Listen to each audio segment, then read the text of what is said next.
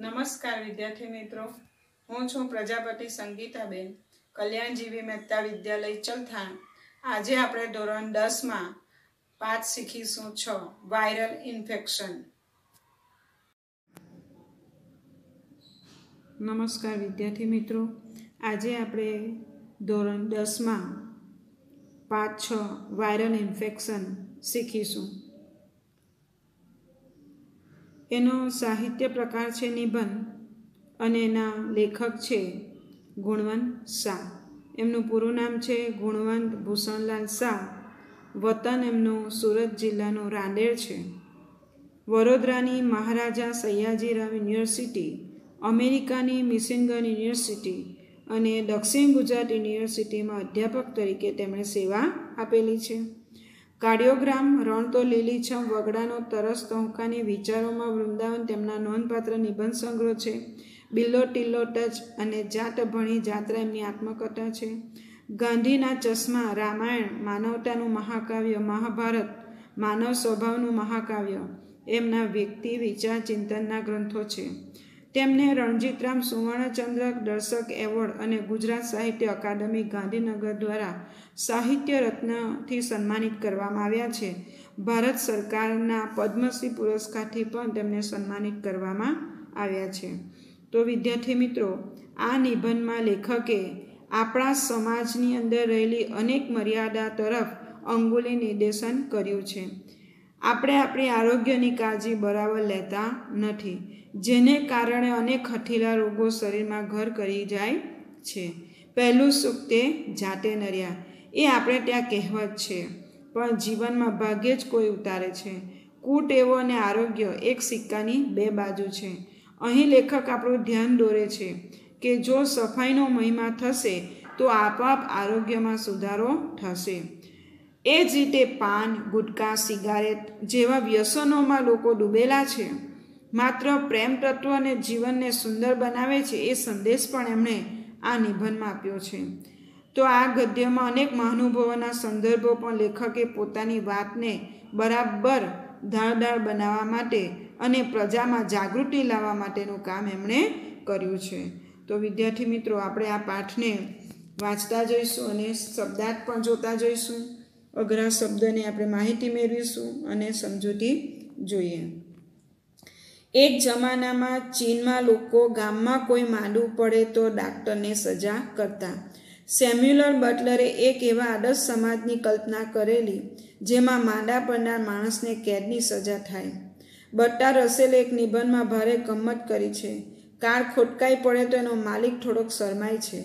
પરંતુ માણસ પોતાનું શરીર ખોટકાય તેની વાત બીજાઓ આગળ ગૌરવપૂર્વક કરે છે. તો વિદ્યાર્થી મિત્રો, અહીંયા શું કીધું છે આપણને? કે માણસ બીમાર પડે તો શું થાય? બીમારની વાત, બીમારીની વાત કરેલી છે આપણને. તો કે એક જમાનામાં ચીન જે છે, બરાબર? અત્યારે પણ આપણે ચીનને બરાબર ઓળખીએ છીએ. એક જમાનાની વાત શું? આપણે તો અત્યારના ચીનની વાત કરીએ તો પણ ખબર પડે છે કે ચીનના લોકો ગામમાં કોઈ માંદું પડે તો ડાક્ટરને સજા કરતા. અત્યારે આપણે કોરોનાની મહામારીમાં અટવાયેલા છે. તો આપણને ચીન તરફથી જ આ માંદગી પણ પ્રાપ્ત થયેલી છે એવું કહેવાય છે, બરાબર? તો ચીનમાં તો શું કહે છે કે લોકો ગામમાં કોઈ માંદું પડે ચીનની અંદર તો વ્યક્તિને સજા નહીં કરે, પણ કોને સજા કરવામાં આવે? ડાક્ટરને સજા કરવામાં આવે. સેમ્યુલર બટલરે શું કીધું છે અહીંયા ગાડી એક અંગ્રેજ લેખક છે. તેણે એવું કીધું છે કે એક એવા આદર્શ સમાજની શું કરવાની છે આપણે કલ્પના? તો કે જેમાં માંદા પડનાર, બરાબર? માંદા એટલે કે બીમાર. તો બીમાર પડનાર જે છે, બરાબર? એને કેદની સજા થાય. એટલે આદર્શ સમાજ જો આપણે બનાવવો હોય, તો પહેલાં પહેલું એવું વિચારવું પડે કે જે વ્યક્તિ માંદા પડે, તેને આપણે શું કરવાનું? જેલમાં પૂરી દેવાનું. બરાબર? તો આ નિબંધમાં એમણે ગમ્મત કરેલી છે. તો એ ગમ્મતમાં આપણને શું કીધું? કે ગાડી આપણે ફોર વ્હીલ લઈને જતા હોય, બરાબર? અને માલિક ફોર વ્હીલ બગડી જાય, ખોટકાઈ જાય, એટલે કે બગડી જાય, બંધ થઈ જાય. તો માલિક શું થઈ જાય? થોડોક શરમાઈ જાય, બરાબર? એને નાનમ આવે. પરંતુ માણસનું પોતાનું શરીર જ જો બીમાર પડી જાય, બરાબર? ખોટકાઈ જાય, એટલે કે બીમાર પડી જાય તો એક શું અનુભવે? ગૌરવ અનુભવે કે હું બીમાર થઈ ગયો હતો, એટલે હું શાળાએ આવી નહીં શક્યો. બરાબર? ને આપણે પણ એવા બનાવો કાઢતા હોઈએ છીએ. તેવી રીતના માણસ શું કરે છે? ગૌરવ અનુભવે. બીમાર થઈ જાય. પોતાનું શરીર કામ નહીં આપે, ત્યારે ગૌરવ અનુભવે. પણ પોતાની માલિકીની ગાડી જો ખટકી જાય એટલે કે બગડી જાય, તો એને શું થાય? શરમ આવે. એ વાત અહીંયા આપણને સમજાવવાનો પ્રયત્ન કરેલો છે. તો માણસ પોતાના શરીર સાથે નિર્દયતાપૂર્વક વર્તે છે. ભણેલા લોકો પણ ખાવા પીવામાં અભરની માફક વર્તે છે. ડૉક્ટરો પણ પોતાના આરોગ્ય ક્યારેક દર્દી જેવા બેદરકાર જોવા મળે છે. વર્ષો સુધી શરીર અપમાનિત થતું રહે છે. ખાટલામાં પડેલું નાની ઉંમરનું શરીર એ તો અપમાનનો અસહ્ય બની ગયા ત્યારે શરીર દ્વારા શરૂ થયેલો સવિનય કાનૂન ભંગ છે. હૃદયરોગનો હુમલો કંઈ મફતમાં નથી મળતો, એ માટે વર્ષો સુધી મથવું પડે છે. શરીર તો પોટલું સમજીને કલાકો સુધી ઓફિસની ખુરશીમાં બેસાડી રાખવું પડે અને ગમે તે સમયે ગમે તેવું અને ગમે તેટલું ખાવું પડે. હૃદયરોગના હુમલા વખતે માણસને પરસેવો વછૂટી જાય છે. જીવનમાં કદી પણ પરસેવો નથી વળ્યો. તેથી શરીર પોતાના માલિકે કરેલો એક કુર કટાક્ષ ગણાય. રોગ થાય તે માટે સુખી લોકો જે સ્થૂળ સાધના કરે તેને બેઠાણુંપણું કહેવામાં આવે છે. આપણા દેશમાં આવા સાધકોની સંખ્યા ઓછી નથી. તો વિદ્યાર્થી મિત્રો, આમાં ખૂબ સરસ વાત કરેલી છે કે માણસ છે ને એ પોતાના શરીર સાથે નિર્દયતાપૂર્વક વર્તે છે. હવે વાત કરેલી છે અહીંયા ભણેલા લોકોની અને બીજી વાત કરેલી છે અભણ લોકોની. તો ભણેલા લોકો પણ કેવા છે? અભણ જેવા છે. કેવી રીતે? તો અહીંયા વાત કરેલી છે કે ડાક્ટરો પણ પોતાના આરોગ્યની કાળજી બરાબર રાખતા નથી. બેદરકાર જોવા મળે છે. તો વિદ્યાર્થી મિત્રો, આપણે અત્યારનું તાજું ઉદાહરણ લઈએ. તો આપણે જોઈએ છીએ સમાચારોમાં સાંભળીએ છીએ કે કોરોના થયો છે તો સિવિલ હોસ્પિટલમાં કામ કરનારા આટલા ડૉક્ટરોને કોરોના થઈ ગયો. આટલા સફાઈ કર્મચારીને કોરોના થઈ ગયો. એનો મતલબ એવો થાય કે ડૉક્ટરો પણ પોતાના શરીરની કાળજી લેતા નથી. એટલે વર્ષો સુધી આપણું શરીર જે છે, એ શરીર શું થાય છે? અપમાનિત થાય છે. બરાબર? ખાટલામાં પડેલું નાની ઉંમરનું શરીર, ત્યાર પછી વાત કરી છે, અપમાનો સહન કરી રહેલું શરીર. એટલે આ જે શરીર છે તે શું છે અહીંયા? સવિનય કાનૂન ભંગ. સવિનય કાનૂન ભંગ એટલે શાંતિપૂર્વક કાયદાનો કરેલો ભંગ. તો આપણે શરીર સાથે શું કરીએ છીએ? કાયમ અપમાન કરીએ છીએ. પછી આપણે જાણીએ છીએ ને કે ચોત્રીસ વર્ષના વ્યક્તિને હૃદયરોગ થયો હાર્ટ એટેક આવ્યો. બરાબર? તો એ એટેક એમને એમ નથી મળતો. કારણ કે એના શરીરે વર્ષો સુધી શું કરવી પડે છે? મહેનત કરવી પડે છે. શરીરને પોટલું સમજીને કલાકો સુધી આપણે શું કરીએ છીએ? ખુરશીમાં બેઠા બેઠા ઓફિસમાં કામ કરીએ. બરાબર? તો ગમે તે સમયે, ગમે તેટલું ખાવાનું પણ આપણે ખાઈ લઈએ. દાખલા તરીકે લગ્ન પ્રસંગે ગયા હોય તો કે કે ભાઈ, મારે તો બસો ને એક રૂપિયાનો ચાંદલો કરવાનો છે. બરાબર? આજે તો ઠાંસીને જ ખાવું પડશે. એટલે શરીરની ચિંતા નથી કરતા, પૈસાની ચિંતા થાય છે અને આપણે શું કરીએ છીએ? ગમે તેટલું પેટમાં નાખી દઈએ છીએ. એટલે જ્યારે એટેક આવે છે ને વ્યક્તિને, ત્યારે એ વ્યક્તિ પરસેવો પરસેવોથી રેપઝેપ થઈ જાય છે. કારણ શું? તો કે જીવનમાં પરસેવો પડે એવું કામ ક્યારે કર્યું નથી. એટલે પોતાના શરીરનો શરીર જે છે, એની સાથે શું કરેલું છે, એણે હંમેશા અપમાન કરેલું છે. એટલે એ શરીર અમુક સમય પછી એને સાથ આપતું નથી. એટલે રોગ થાય તે માટે સુખી લોકો જ સ્થૂળ સાધના કરે. બેઠાડુંપણું એને કહેવામાં આવે છે. એટલે જે વ્યક્તિ બેઠા બેઠા કામ કરે, કોઈ શારીરિક શ્રમ કરતો નથી, એવા લોકો જે છે, બરાબર, એ વધારે બીમાર પડતા હોય છે. તો આપણા દેશમાં આવા સાધકોની સંખ્યા ઓછી નથી એટલે આવા આળસુ માણસોની સંખ્યા આપણા દેશમાં ઘણી બધી છે. હવે આગળ જઈએ આપણે. તો કે હોસ્પિટલની શોભા વધારવા શું થઈ શકે? ઘણા ખરા ખાટલા પડી રહે, એક તો હોસ્પિટલની ખરી શોભા ગણાય. માણસ ન છૂટકે ડૉક્ટર પાસે જાય. તેમાં કશું ખોટું નથી. ખરેખર તો સંપૂર્ણપણે નિરોગી હોય તેવા માણસોએ નિયમિતપણે ડૉક્ટર પાસે જઈને લોહી કાર્યોગ્રામ અને બીજી બાબતોની ચકાસણી કરાવી લેવી જોઈએ. પોતાનું આરોગ્ય જળવાઈ રહે એ માટેના સૂચનો ડૉક્ટર પાસેથી કોઈ ફરિયાદ ન હોય ત્યારે માંગવા જોઈએ. ડાક્ટરના દાંતના ડૉક્ટર પાસે કોઈ પણ પ્રકારનો દુખાવો ન હોય ત્યારે સમાંતરે જવું જોઈએ. અહીંયા વાત શું કરેલી છે? હોસ્પિટલની શોભા વધારવા આપણે શું થઈ શકે? તો કે ઘણા ખરા ખાટલા હોસ્પિટલમાં શું હોવા જોઈએ? ખાલી એટલે વ્યક્તિ જો પોતાની કાળજી લેતો થઈ જાય, તો હોસ્પિટલના કોઈ પણ ખાટલા ભરેલા રહેતા નથી. એટલે હોસ્પિટલની ખરી શોભા શામાં ગણાય છે કે ખાટલા જો હોસ્પિટલમાં ખાલા રહે તો? બરાબર? બીજી વાત કરેલી છે અહીંયા કે માણસ ના છૂટકે, બરાબર? ના છૂટકે ડૉક્ટર પાસે જાય. તો ખોટું નથી અને ન જો, ઈચ્છા ન હોય છતાં પછી તો પણ શરીર સાથ ન આપે ત્યારે એણે દવાખાને જવું જોઈએ. ખરેખર તો સંપૂર્ણ નિરોગી નિરોગી એટલે કોઈ પણ પ્રકારનો જેને રોગ થયો નથી તેવો. તેવા માણસોએ નિયમિત ડૉક્ટર પાસે જવાની વાત આપણા લેખક ગુણવંત શાહે અહીંયા કરેલી છે. કેમ કીધું એવું? કે બીમાર પડ્યા પછી દવાખાને જવાનું નથી. પરંતુ આપણે જ્યારે કોઈ પણ પ્રકારનો રોગ થયો ન હોય ત્યારે નિયમિત આપણા શરીરની શું કરાવવી જોઈએ? ડૉક્ટર પાસે તપાસ. તો કઈ બાબતની ચકાસણી એટલે તપાસ કરાવી. કઈ બાબતની? તો કે આપણા શરીરમાં લોહી કેટલું છે? લોહી ઘટી ગયું છે, વધી ગયું છે, જાડું થઈ ગયું, પાતળું થઈ ગયું. ત્યાર પછી વાત કરેલી છે અહીંયા કાર્ડિયોગ્રામ. એટલે આપણા હૃદયના ધબકારા જે છે, બરાબર? એના માટેની પણ આપણે શું કરાવવી જોઈએ? ચકાસણી કરાવવી જોઈએ. તો આપણને એની પણ ખબર પડે. ત્યાર પછી વાત કરી છે, પોતાનું આરોગ્ય જળવાઈ રહે તે માટે ડૉક્ટરને પાસે જઈ કોઈ ફરિયાદ ન કરવાની. ડૉક્ટર જે આપણને સૂચન કરે તે સૂચન આપણે સાંભળી લેવા જોઈએ, માંગવા જોઈએ નહીં. એ વાત પણ આપણને અહીંયા કીધી છે. ત્યાર પછી વાત કરી છે દાંતના ડોક્ટર પાસે કોઈ પણ પ્રકારનો દુખાવો ન હોય ત્યારે જવું જોઈએ. પણ આપણે શું કરીએ છીએ? દાંત સડી જવા આવે, બરાબર? ત્યારે આપણે શું કરીએ છીએ? ડૉક્ટર પાસે જઈએ છીએ. એટલે દાંત પછી કાઢ્યા સિવાય કોઈ એનો વિકલ્પ રહેતો નથી, બરાબર? એટલે દાંત આપણે પછી કઢાવવો જ પડે. એ બાબત કીધી છે. તો અહીંયા વાત કરી છે કે ડૉક્ટર રોગની જાળવણી માટે છે, આરોગ્યની. આ પ્રશ્ન ડૉક્ટરની કમાણી પર સીધો પ્રહાર કરનારો છે. ઓપીડીમાં કીડિયારું ઉભરાય એ તો સભ્ય ગણાતા સમાજની શરમ છે. અનાથ આશ્રમમાં બાળકોની અને ગરદાઘરમાં વૃદ્ધોની સંખ્યા વધે એ કંઈ તંદુરસ્ત સમાજની નિશાની નથી. સંકટ સમયની સાંકળ વારંવાર વપરાય તે યોગ્ય નથી.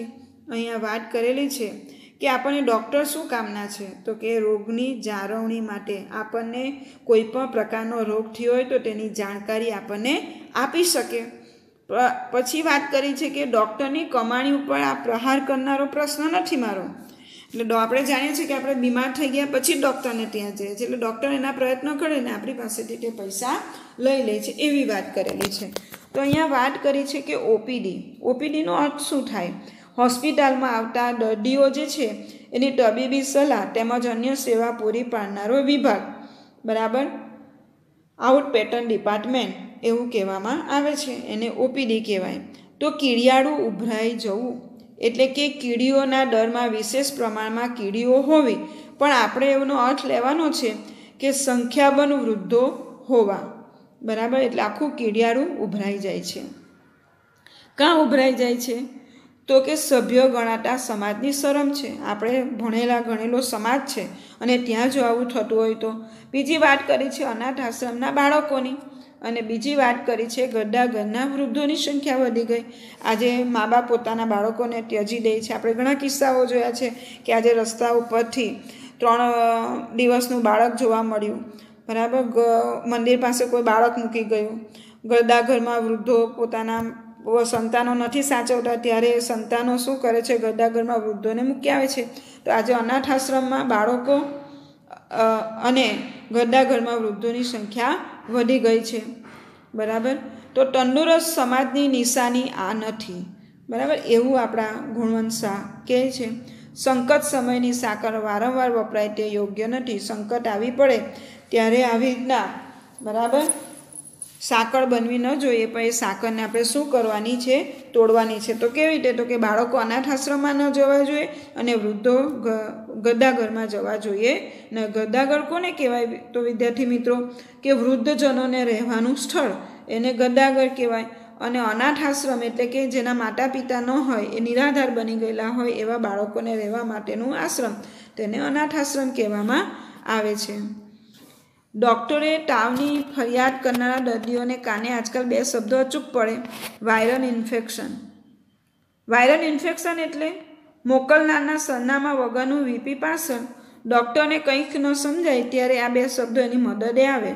ડૉક્ટરનો એમાં કંઈ જ વાંક નથી. જે દેશમાં જાહેર આરોગ્ય આટલું પાંગળું હોય ત્યાં ઢગલાબંધ વસ્તીમાં જથ્થાબંધ મહામારી હોવાની જ્યાં ઇન્સાન અને ઉકરડો અડખે પડખે મળી સમજીને રહેતા હોય, ત્યાં હોસ્પિટલો પણ ગંદી હોવાની. સ્વચ્છ હોસ્પિટલો વધારે પડતી મોંઘી હોય છે. સ્વચ્છ હોસ્પિટલમાં લીલા પાટિયા પર સુંદર લખાણ હોય છે જે થોડે થોડે દિવસે બદલાતું રહે છે. અહીંયા વાત કરે છે, ડૉક્ટરને તાવની ફરિયાદ કરનારા દર્દીઓને કાને આજકાલ બે શબ્દો સંભળાય. કયા બે શબ્દો સંભળાય? તો કે વાયરલ ઇન્ફેક્શન. વાયરલ એટલે શું? તો વાયરલ એટલે અતિ સૂક્ષ્મ જીવાણુ અને ઇન્ફેક્શન એટલે શું? તો કે ચેપ. બરાબર? અતિ સૂક્ષ્મ જીવાણુથી થતો રોગ. ચેપ. અત્યારે આપણે જાણીએ છીએ કોરોના કઈ રીતે આપણા શરીરમાં પ્રવેશ કરે છે તે આપણને ખબર નથી. છતાં આપણે સાવચેતીના પગલાં ભારતના પચાસ ટકા લોકો રાખતા નથી. એને કારણે કોરોનાના કેસો આજે ભારત દેશની અંદર વધી રહ્યા છે. તો આ વાયરલ ઇન્ફેક્શન મોકલનારનું સરનામું જે છે, કોણ મોકલે છે વાયરલ ઇન્ફેક્શન અતિ સૂક્ષ્મ જીવાણુથી થતો આપણને ચેપ જે લાગે છે, એટલે એને કીધું છે વીપી પાર્સલ. એટલે કે પત્ર, પુસ્તકો, વર્તમાનપત્ર જેવી કિંમતી વસ્તુઓનું નોંધ જેમણે સ્થળ, જણાવેલા સ્થળે પહોંચાડવા માટે તૈયાર કરેલું પોટલું, એને આપણે પાર્સલ કહીએ છીએ. તો આવું પાર્સલ કોણ મોકલાવે છે? તો કે વાયરલ ઇન્ફેક્શન એનો અર્થ આપણને કીધો છે કે વાયરલ ઇન્ફેક્શન એટલે શું? તો કે મોકલનાર ના સરનામા વગરનું વીપી પાર્સલ ડૉક્ટરને કંઈ જ ન સમજાય ત્યારે આ બે શબ્દોનો ઉપયોગ કરે. કયો? Viral infection. આપણને શરદી ખાંસીને તાવ આવ્યો હોય તો ડૉક્ટર શું કરે? ચાર દિવસ સુધી રાહ જોઈ કે વાયરલથી તમને તાવ છે, શરદી, ખાંસી. પછી ચાર દિવસ થઈ જાય, પછી શું કહે હવે તમારે રિપોર્ટ કઢાવવો પડશે, તમારો તાવ સારો થતો નથી. બરાબર? એટલે ડૉક્ટર પણ આપણે ડૉક્ટરના કાને પણ આ કાનથી આપણે બે શબ્દ સાંભળીએ છીએ અને બીજાના મોડેથી પણ આપણે બે શબ્દ સાંભળીએ. એમાં ડૉક્ટરનો કોઈ વાંક નથી. દેશ જે દેશમાં આરોગ્ય જ આટલું પાંગળું હોય, બરાબર? આરોગ્યની બાબતમાં કોઈ કાળજી લેવા તે ઢગલાબંધ ભારત દેશની વચ્ચે, વસ્તી છે. વિશ્વમાં બીજા નંબરની વસ્તી ભારત દેશમાં વસે છે. પહેલા નંબરની ચીનમાં, બીજા નંબરની વસ્તી ભારત દેશમાં.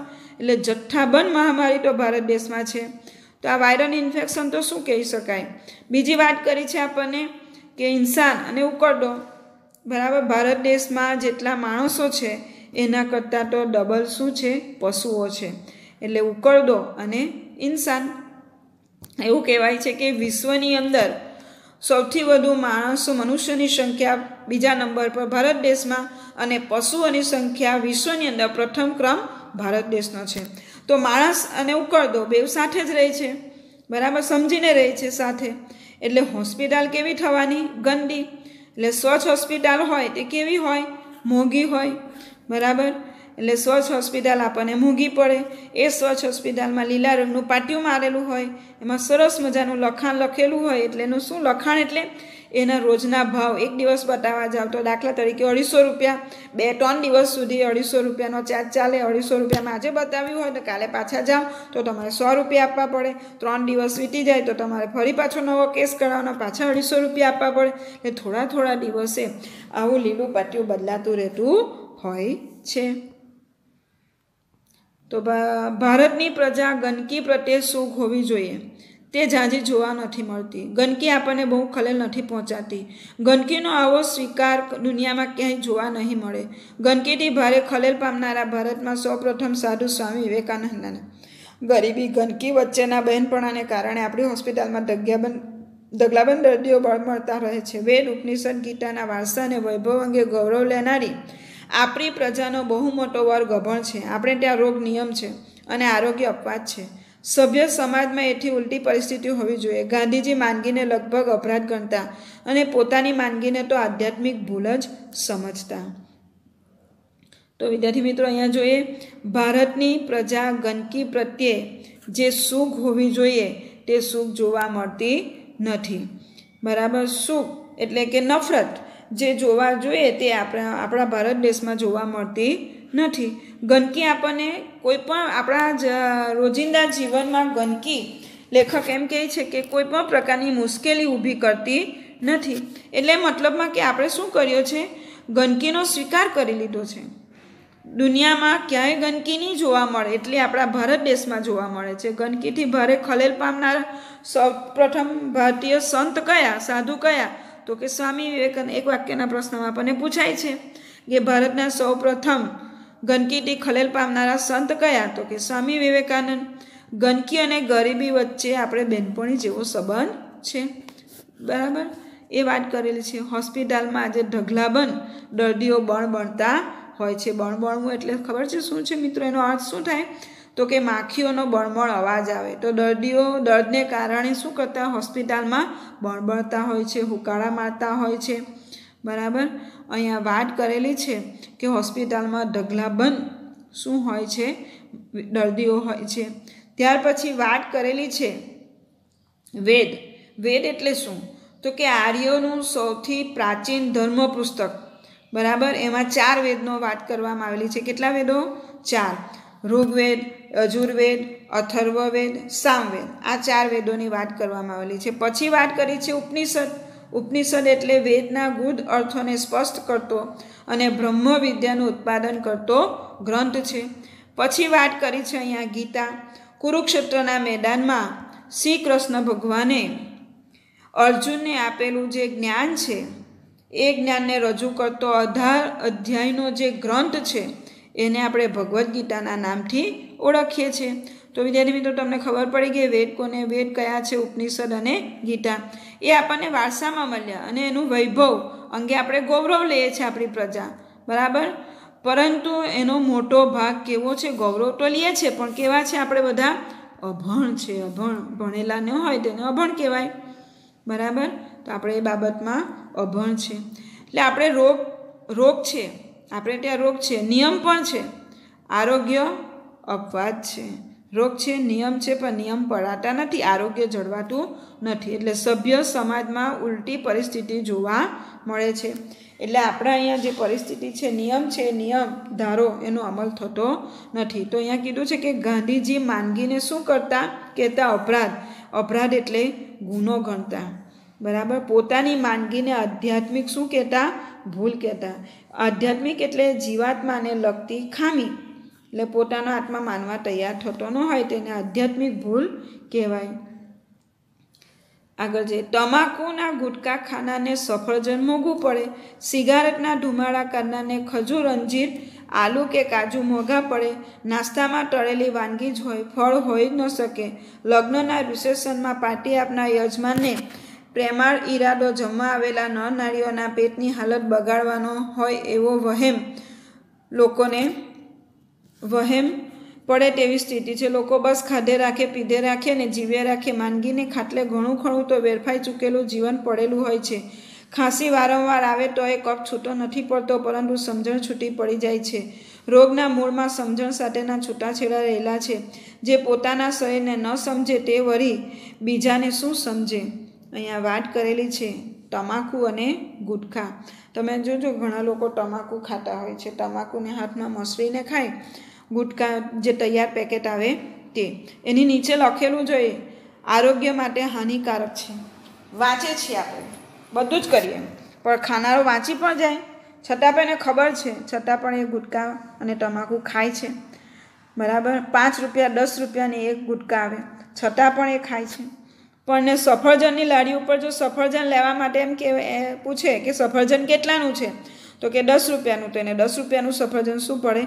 મોંઘું પડે. હવે સિગારેટનો ધુમાડો કાઢે. સિગારેટનો ધુમાડો કાઢવા. આજે સિગારેટ પંદર રૂપિયાની એક મળે. બરાબર? તો આખા દિવસમાં દસ સિગારેટ પી જતા હોય તો કેટલા રૂપિયાની થાય? પંદર ગુણ્યા દસ કરો. એકસો પચાસ રૂપિયાની એ શું પી જાય છે? સિગારેટ પી જાય છે. બરાબર? છતાં એને જો ખજૂર, અંજીર, આલુ કે કાજુ ખાવાના કહેવામાં આવે તો કે તો કેટલા મોંઘા છે? બરાબર? એટલે તમે ખજૂર આલુની, ખજૂર ખાવ કે અંજીર ખાવ, આલુ ખાવ, એટલા બધા મોંઘા હોતા નથી. છતાં પણ દોઢસો રૂપિયાના ખજૂર ખાઈ જાય કે કાજુ ખાઈ જાય તો પણ એને શું પડે છે? મોંઘા. પણ દોઢસો રૂપિયાની સિગારેટ એને મોંઘી પડતી નથી. એટલે ગુટકા, તમાકુ ખાનાને સફરજન મોંઘું પડે છે. સિગારેટના ધુમાડા ખાનાને ખજૂર, આલુ અને અંજૂર અને કાજુ મોંઘા પડે છે. બરાબર? નાસ્તામાં તો તળેલી વાનગી જ જોઈએ. ફળ તો ચાલે નહીં. બરાબર? આપણે સુરતના લોકોને તો શું જોઈએ? નાસ્તામાં તળેલી વાનગી જ જોઈએ. લગ્નમાં ગયા હોય તો રિસેપ્શનમાં ગયા હોય, તેની પાર્ટી હોય, બરાબર? તો એ પાર્ટીની અંદર પણ આપણને યજમાન, જેણે આપણને જમવા માટે બોલાવ્યા છે, બરાબર? તો એ બિચારાનો કોઈ ઈરાદો નથી, બરાબર? કે આપણને આપણું શરીર કે આપણું પેટ બગાડવાનું, કોઈ પણ સ્ત્રી, નારીનું પેટ બગાડવાનો, એનો કોઈ ઈરાદો નથી. પરંતુ લોકો શું કરે છે? ખાધે જ રાખે, પીધે જ રાખે અને જીવે રાખે. જેટલું ભાવે એટલું લઈ જ લઈને ખાઈ જ લે છે. એને કારણે માંદગી આવે છે. અને કેટલું અંતો એવી રીતના વેરફાઈ જતું હોય. આવી રીતના આપણું જીવન પણ પડેલું છે. બરાબર? આપણને ખાંસી આવતી હોય કફ છૂટો પડતો નથી, પરંતુ આપણી સમજણ છૂટી પડી જાય છે. બરાબર? એટલે રોગનું મૂળની સમજ સાથે આપણે શું લઈ લીધા છે? છૂટાછેડા લઈ લીધા છે. જે પોતાના શરીરને નથી સમજી શકતો એ બીજાને શું સમજી શકશે? તો વિદ્યાર્થી મિત્રો, અત્યારે વાત કરીએ આપણે તમાકુની, સિગારેટની, લગ્નમાં જમવાની. પણ અત્યારે જે કોરોનાની મહામારી ચાલી રહી છે, તો એ કોરોનાની મહામારીમાં પણ આપણે ખૂબ જ કાળજી રાખવાની છે. આપણા શરીર સાથે આપણે કોઈ પણ પ્રકારની સમજૂતી કરવાની નથી. આપણા શરીરને આપણે બરાબર સમજવાનું છે કે ઠંડા પીણા, આઈસ્ક્રીમ ખાવાથી મને શરદી કપ થઈ જશે. બરાબર? વરસાદના પાણીમાં ભીંજાવાથી મને તાવ આવી જશે, ઠંડી ચડી જશે. તો આ બાબતની પણ આપણે શું કરવી? કાળજી રાખવી. આગળ જઈએ. મનની સ્વસ્થતાનો શરીરની તંદુરસ્તી પર સીધો પ્રભાવ પડે છે. જેનું મન ભાંગી પડે, તેનું શરીર પણ ભાંગી પડે. મનની પ્રસન્નતા પાચન શક્તિને જાળવી લેનારી છે. ઈર્ષા, એસિડિટી વધારે એવો પૂરો સંભવ છે. માનસિક તાણ બ્લડ પ્રેશરને સળી કરે છે. અતિશય ચિંતા, પેટના અલ્સરને એમ બને. પતિ પત્ની વચ્ચેનો સંબંધ બંનેના સ્વાસ્થ્યને સીધી અસર પહોંચાડે છે. કેટલાક પરિવારોમાં ખડખડાટ હાસ્ય મહિને એકવાર પણ સાંભળવા નથી મળતું. માણસે હસવાની એક પણ તક છોડવી ન જોઈએ. મુંબઈની ટ્રેનમાં ભજન મંદિર ધૂમ મચાવે છે. ભજનાનંદ તાણમાં ઘટાડો કરે છે. પ્રાર્થનામાં તાણને સંઘણી રાખવાની અદ્ભુત તાકાત રહેલી છે. રામે તાડકા નામની ભયંકર રાક્ષસીનો વધ કરેલો. આપણે ટાન નામની વાસા વગરની ચૂડેલનો નાશ કરવાનો છે. દશેરાના દિવસે રાવણ વધ કરવાની જરૂર નથી, પરંતુ આપણા અહંકારનો વધ કરવાનો છે. અહંકાર એક એવો રોગ છે, જે અસંખ્ય પરિવારને પજવે છે પજાડે છે. સરળ વ્યક્તિનું સ્વસ્થ, સ્વાસ્થ્ય સારું રહે એવી શક્યતા પ્રમાણમાં વધારે રહે છે. જે વ્યક્તિ દાવપેચ રમે અને છળ કપટમાં રાચે તેનું શરીર પણ સાવ નિરોગી ન રહી શકે. મનનો મેલો હોય તેવો આદમી ઘણું ખરું શારીરિક તકલીફ વગરનો ન હોઈ શકે. અસ્વસ્થ અને અસ્વસ્થ મન નશા તરફ જલ્દી વળે છે. સિગારેટનો ધુમાડો મનની બેચેનીનું વાયુ સ્વરૂપ ગણાય. ક્યારેક ધૂમ્રપાન કરનારો અને શરાબ સેવન કરનારો માણસ લાંબુ જીવી જાય, ત્યારે લોકો એક કૂતક ચલાવે છે. જેમ જીવવું હોય તેમ જીવો ફલાણા ભાઈને સિગાર પીવાથી શું નુકસાન થયું? એક સ્ત્રીનો ફોટો અખબારમાં છપાયો. એકસો સત્તાવીસ વર્ષની એ સ્ત્રી ધૂમ્રપાન કરી રહી હતી. તેણે મુલાકાતમાં જણાવ્યું કે, હવે તેને સિગારેટની સંખ્યા ઘટાડી કાઢી છે. આવા દાખલા બને તેથી ધૂમ્રપાન ચાલુ રાખવું એ ગરડો તર્ક છે. તો વિદ્યાર્થી મિત્રો, આપણે આને સમજીએ. મનની સ્વસ્થતા શરીરની તંદુરસ્તી પર સીધો પ્રભાવ પાડે છે. બરાબર? આપણું મન જે છે ને, એ મન સ્વસ્થ રહેવું જોઈએ. મન ક્યારે બેચેન ન રહેવું જોઈએ. મનમાં કોઈ પણ પ્રકારનો આપણને ભય સતાવતો હોય, ડર સતાવતો હોય, તો આપણી તંદુરસ્તી ઉપર હાનિ થાય છે. જેનું મન ભાંગી પડે છે ને મિત્રો, એનું શરીર પણ ભાંગી પડે છે. આપણું મન હંમેશા ખુશ રહેવું જોઈએ. મન ખુશ રહે તો આપણી પાચન શક્તિ પણ સારી થાય છે. તો આપણને આપણને ઈર્ષા થાય. કોઈને તામ સરસ મજાની ફોર વ્હીલ ગાડી લાવ્યા તો મારા ઘેરે નથી આવી. મારી પાસે આ ગાડી નથી. આવી ઈર્ષા થાય તો શું થાય? એસિડિટી થાય. એટલે એસિડિટી થવાનો પૂરો સંભવ રહે છે. એટલે માનસિક તાણ જે છે બેચેની માનસિક તાણ આપણામાં શું કરે છે? બ્લડ પ્રેશર ઊભું કરી આપે છે. બ્લડ પ્રેશર એટલે લોહીનું દબાણ. અને એસિડિટી એટલે મિત્રો ખટાશ અથવા આપણને પિત્ત જે થાય છે તે અને પાચન શક્તિ એટલે ખાધેલું પચાવવાની શક્તિ. પણ આપણે અહીંયા સ્વસ્થતા એટલે કે આપણી તંદુરસ્તી સારી હોવી જોઈએ. એ વાત આપણને અહીંયા કીધી છે. બરાબર? એટલે અતિશય ચિંતા જે છે, બરાબર? આપણે પુષ્કળ ચિંતા કરીએ. એ ચિંતા આપણને શું આપે? અલ્સર આપે. પેટમાં શું થાય આપણને? અલ્સર. શરીરનો જે અંદરનો ભાગ છે ને, એમાં ચાંદું પડે. એ ચાંદુને આપણે શું કહીએ છીએ? અલ્સર. એટલે પતિ પત્ની વચ્ચેના બંનેના સંબંધ પણ સ્વાસ્થ્ય ઉપર સીધી. રોજ પતિ પત્નીને મારતો હોય, રોજ જ મારે. બરાબર? તો પત્નીની શું હાલત થાય? એનું સ્વાસ્થ્ય બગડે. એ ચિંતા મારે, રાતના દિવસ ઊંઘી ન શકે. એટલે પતિ પત્નીના સંબંધ જો પ્રેમાળ ભર્યા હોય, તો તે લોકો બંને પતિ પત્નીનું સ્વાસ્થ્ય કેવું રહે સારું રહે જે પરિવારમાં ખડખડાટ હાસ્ય હોય, બરાબર? તો તે પરિવાર તંદુરસ્ત સમાજની એક નિશાની ગણાય. પણ ઘણી વખત જોઈએ છે કે એવા પણ પરિવાર હોય છે. બરાબર? કે આખો એક મહિનો થઈ જાય ને તો પણ હસવાનું બંધ. દાખલા તરીકે ઘરનું એક વ્યક્તિ એવું પણ નીકળે કે ચાર પાંચ ઘરના વ્યક્તિ બેઠેલા હોય અને હસાહસ કરતા હોય એમાં ઘરનો મોભી આવે ને તેને હસે તે બિલકુલ ન ગમે. એટલે પેલા હસતા હોય ને તો તરત જ ચૂપ થઈ જાય ને વિખેરાઈ જાય. આવા પણ આપણે દાખલા સમાજની અંદર જોયા છે. પણ કેટલાક માણસો એવા પણ હોય છે કે હસવાની એક તક પણ છોડતા નથી. તો આપણે પણ એના જેવા બનીએ. કે આપણને હસવાની એક પણ તક છોડવી જોઈએ નહીં. હવે અહીંયા બીજી વાત કરેલી છે કે મનને સ્વસ્થ રાખવા માટે અહીંયા મુંબઈમાં શું કરવામાં આવે છે? તો કે મુંબઈની ટ્રેનમાં ભજન મંડળી ધૂમ મચાવે છે. મુંબઈની અંદર ટ્રેનમાં રોજ લોકો મુસાફરી કરે. લાખો લોકો એની અંદર કામથી કંટાળી જતા હોય તો તે ત્યાં શું કરવામાં આવે છે? ભજન મંડળી ભજનાન, એટલે કે ભજન ગાય. અને ભજન ગાતા વ્યક્તિ સાંભળે જે વ્યક્તિ તેને શું થાય? ભજનાનંદ, ભજનથી પ્રાપ્ત થતો આનંદ એનામાં આવે. જે એને માનસિક તાણ હોય, આખો દિવસનો થાકેલો હોય, તો એનો થાક અહીંયા ઉતરી જાય. ત્યાર પછી બીજી વાત કરેલી છે કે પ્રાર્થના. પ્રાર્થના કરવાથી પણ આપણને જે મુશ્કેલી છે, જે તણાવ છે, માનસિક ખેદ છે, મનની ટંગ હાલત છે, એને શું થાય? પ્રાર્થનાથી આપણે એને દૂર કરી શકીએ છે આવી અદ્ભુત તાકાત કોનામાં રહેલી છે? પ્રાર્થનામાં રહેલી છે. તો બીજી વાત કરેલી છે કે રામે, બરાબર? તાડકા નામની રાક્ષસીનો શું કરેલો? વધ કરેલો. રાક્ષસી એટલે રાક્ષસ જેવું વિકરાળ. વધ એટલે કે હત્યા કરેલી. બરાબર? તો આપણે ટાન નામની વાસા એટલે અહીંયા તાડકા નામની રાક્ષસી હતી જેને હંમેશા ગુસ્સો આવે અને ગુસ્સામાં ને ગુસ્સામાં એ મારી ના એમ લોકોનું ભક્ષણ કરી લેતી. પણ અહીંયા રામે શું કીધું છે કે રામે પોતે પણ ગુસ્સા ઉપર કંટ્રોલ કરેલો. એટલે એ વાસા વગરની ચૂડેલનો નાશ કરેલો. બીજી વાત કરેલી છે કે દશેરાના દિવસે રાવણ વધ કરવાની જરૂર નથી. ગુણવંત શાહ શું કહે છે કે દશેરાના દિવસે રાવણ વધ કરવાની જરૂર નથી, પરંતુ વાત કરી છે કે આપણા શરીરની અંદર, મનની અંદર જે અહંકાર છે, એ અહંકારનો શું કરવાનો છે? વધ એટલે કે નાશ કરવાનો છે. અહંકાર એ એવો રોગ છે કે અસંખ્ય પરિવારને પજવે છે અને પ્રજારે છે, એટલે કે સળગાવી નાખે છે. અહંકાર એટલે કે અભિમાન. સરળ વ્યક્તિનું સ્વાસ્થ્ય સારું રહે એ ખૂબ જરૂરી છે. કોઈ પણ વ્યક્તિ દાવપેચ રમે, એકબીજાને હરાવવાનું, છળ કપટ કરે, તો એનું શરીર નિરોગી ક્યારે પણ રહેતું નથી. મનનો મેલો હોય ને, એ માણસ પણ ક્યારે શરીર શારીરિક તકલીફ વગરનો ન હોય ને કોઈને કોઈ પ્રકારની તકલીફ રહેતી જ હોય છે. એટલે વિદ્યાર્થી મિત્રો શારીરિક તકલીફ તો રહે જ. અસ્વસ્થ, જે ચોખ્ખાઈ નથી રાખતો એનું શરીર પણ, એનું મન પણ ક્યારે પણ ચોખ્ખું રહેતું નથી. એને કારણે તે નશા તરફ વળે છે. તો સિગારેટનો ધુમાડો કાઢવાથી મનની બેચેની દૂર થતી નથી, પણ એમાંથી એ વાયુ સ્વરૂપધારી ધુમાડો બહાર નીકળે છે. ક્યારેક ધૂમ્રપાન કરનારો અને શરાબનું સેવન કરનારો માણસ લાંબુ જીવન પણ જીવી જતો હોય છે. ત્યારે આપણા લોકો શું કરે છે એનો કુતર્ક કરે છે, ખોટો વિચાર કરે છે. એવો ઘરડો તર્ક કરે છે કે જેમ જીવવું હોય તેમ આપણે જીવવાનું. ફલાણા ભાઈ તો સિગારેટ પીતા હતા છતાં પણ લાંબુ જીવી ગયા. કોઈ નુકસાન થતું નથી.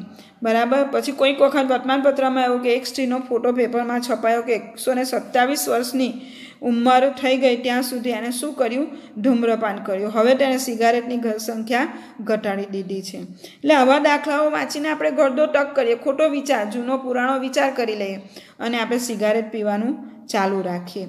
તો આપણે વિદ્યાર્થી મિત્રો, આજુબાજુમાં પણ આવા કોઈ સિગારેટ પીતા હોય, ધૂમ્રપાન કરતા હોય, નશીલા પદાર્થનું સેવન કરતા હોય, તો તેને આપણે સમજાવવાનો પ્રયત્ન કરવો જોઈએ કે એનાથી આપણને કોઈ ફાયદો થતો નથી. પ્રત્યેક માણસને મા, બહેન, ભાભી, પિતા, મિત્ર કે પત્ની તરફથી ભરપૂર સ્નેહ મળી રહે, તો કદાચ શરાબની જરૂર નહીં પડે.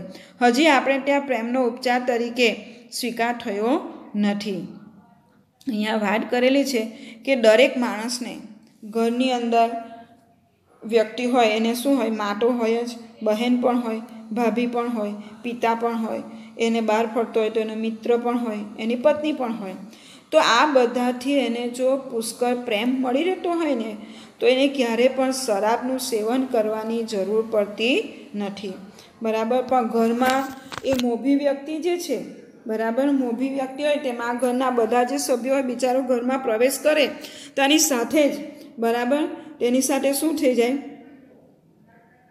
ઝઘડાનું વાતાવરણ રોજ સવારની ફરિયાદ ચાલુ થઈ જાય, તો એ વ્યક્તિ શરાબને રવાડે ચડી જાય. પણ જો ભરપૂર પ્રેમ પ્રાપ્ત થાય, તો તેને શરાબ પીવાની જરૂર પડતી નથી. હજી આપણે ત્યાં પ્રેમનો ઉપચાર તરીકે સ્વીકાર થયો નથી. એટલે આપણે પ્રેમને પ્રેમથી ગમે તે વસ્તુનું આપણે નિરાકરણ લાવી શકીએ છીએ, એવું આપણે સ્વીકારતા નથી. લવ થેરાપી માટે હોસ્પિટલ કે સાયકાટિસ્ટ પાસે જવું ન પડે એવો ભર્યો ભર્યો પ્રેમાળ પરિવાર તન મનના આરોગ્ય માટેની પૂર્વ શરત છે. જીવન વીમો જરૂરી છે, પરંતુ જીવન શ્રદ્ધા એથી વધારે જરૂરી છે. એમાં સમર્પણ, એ જ રોકાણ અને સ્નેહ, એ જ ડિવિડન માંદા પડવાનું આપણે માનીએ તેટલું સહેલું નથી. બરાબર? માંદા પડવું એ સહેલું નથી. અત્યારે આપણને કોરોનાનો ભય સતાવી રહેલો છે. તો ઘરની અંદર જો આપણે પ્રેમ ભર્યું વર્તન જો આપણે રહેતા હોય, તો એટલે કે પ્રેમ દ્વારા આવા શરાબી, પછી તમાકુનું સેવન કરનારા હોય, સિગારેટનું સેવન કરનારા હોય, તો એને પ્રેમ દ્વારા પણ આ ઉપચાર ઉપચાર એટલે ઈલાજ કરી શકીએ તેમ છે. તો પ્રેમથી એને સમજાવી શકાય, ગુસ્સાથી સમજાવવાની જરૂર નથી. ત્યાર પછી વાત કરી છે અહીંયા આગળ સાયકાટ્રિસ્ટ, મનોચિકિત્સક પાસે જવાની પણ જરૂર પડતી નથી. શાને કારણે લવ થેરાપી એટલે પ્રેમ દ્વારા જો, પ્રેમથી જો વ્યક્તિને પ્રેમપૂર્વકનું વર્તન જો એના પરિવારમાં એને પ્રાપ્ત થતું હોય તો ક્યારે પણ મનોચિકિત્સ પાસે જવાની જરૂર પડતી નથી. ભર્યો પ્રેમાર પરિવાર હોય તો તન અને મનનું આરોગ્ય બરાબર સચવાઈ રહે તેમ છે. પણ પરિવારમાં જો પ્રસન્નતા ન હોય બરાબર? તો ક્યારે પણ આરોગ્ય સચવાતું નથી. એટલે જીવન વીમો જરૂરી પડતો નથી. એટલે આપણે મોટે જીવનમાં હાનિ, અકસ્માત કે મૃત્યુ સમયે સલામતી મળે એ માટે આપણે વીમો ઇન્સ્યોરન્સ ઉતરાવતા હોય છે. પણ મનનું આરોગ્ય જો આપણું તંદુરસ્ત હોય પેમાર પરિવાર હોય, તો આવી જીવન વીમાની જરૂર પડતી નથી. પરંતુ જીવન શ્રદ્ધા એથી વધારે જરૂરી છે. જીવનમાં શ્રદ્ધા રાખવી. બરાબર, એ જરૂરી છે. સમર્પણ એ જ આપણું રોકાણ છે. બરાબર, પોતાના જીવનની અંદર શ્રદ્ધા રાખવી સમર્પણની ભાવના રાખવી, એ જ મોટામાં મોટું રોકાણ છે. એ જ આપણો સ્નેહ છે અને એ જ આપણું ડિવિડન. ડિવિડન એટલે કે કંપનીના શેર દીઠ અપાતું વ્યાજ. પણ આપણા ઘરની અંદરથી આપણને શું મળે? એકબીજાને આપણે સમર્પણ થતા હોય. બરાબર? એકબીજાના મનને આપણે સમજતા હોય, પ્રેમપૂર્વક આપણે રહેતા હોય, તો કોઈ પણ પ્રકારનું બરાબર આપણે રોકાણ કરવાની જરૂર પડતી નથી. એટલે કે આપણે ક્યારેય પણ માદા પડી શકીએ નહીં. એટલે આ જો કરીએ, તો અહીંયા ગુણવંશ એમ કહે છે કે માંડા પડવાનું આપણે માનીએ તેટલું સહેલું નથી. એટલે માંડું પડવાનું અઘરું બની જાય છે. તો વિદ્યાર્થી મિત્રો, આપણને અહીંયા કહેવામાં આવ્યું છે કે આરોગ્યની જાળવણી આપણે કેવી રીતે કરી શકીએ? બરાબર? તો આરોગ્યની જાળવણી કરવા માટે આપણે કઈ કઈ બાબતોની કાળજી લઈ શકીએ? તો નિયમિતપણે આપણે શું કરવું જોઈએ? ડૉક્ટર પાસે જવું જોઈએ. બરાબર ને? જવું જોઈએ કે નહીં ડૉક્ટર પાસે? ડૉક્ટર પાસે જઈને શું કરાવવાનું આપણે? લોહીની તપાસ કરાવવાની. જો અહીંયા આપેલું છે, લોહીની તપાસ કાર્ડિયોગ્રામ બરાબર?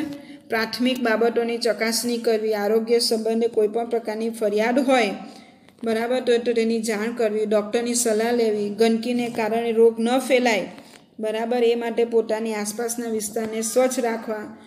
એટલે આ બાબતની આપણે કાળજી રાખવાની. આ પાઠમાંથી આપણને એ સાર મળે છે કે તમાકુના ગુટકા, સિગારેટ વગેરે વ્યસનથી આપણે દૂર રહેવું જોઈએ. કેમ કે તેની સીધી અસર આપણા આરોગ્ય પર પડે છે. ત્યાર પછી જમવામાં આપણે કાળજી રાખવી જોઈએ. બરાબર, સંયમથી આપણે ખોરાક લેવો જોઈએ. મનની સ્વચ્છતાથી શરીરની તંદુરસ્તી પર સીધો પ્રભાવ પડે છે. આપણી પાચન શક્તિ ઉપર પણ તેનો સીધો પ્રભાવ પડે છે. માણસે હસવાની એક પણ તક છોડવી જોઈએ નહીં.